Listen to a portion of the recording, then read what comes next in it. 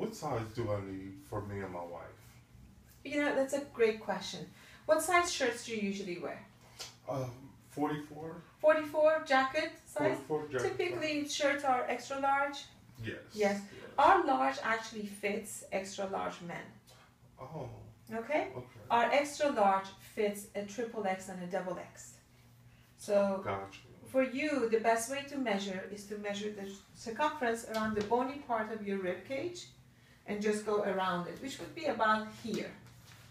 So mid arm underneath the armpit. Okay. Now for our female patients, for your wife, it's very easy because we just go based on bra size. If she is a 36B or 36A, we just go based on 36 and that would fall her into a medium. Okay. Okay? Any questions? No.